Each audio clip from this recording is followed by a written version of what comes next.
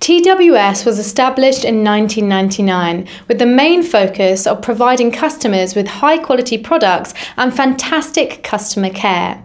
Our highly trained staff are incredibly passionate about their job and work hard to deliver you the best results on time. When it comes to replacing your conservatory roofs with a tiled roof system, there are building regulations that must be complied with. Our lightweight tile roof complies with these regulations and comes complete with a certificate to prove it's habitable. We care about you and the work we do. With us, you're guaranteed a long term relationship. To discover the benefits of having a conservatory with a lightweight tile roof, enter your details today and receive a free copy of our guide.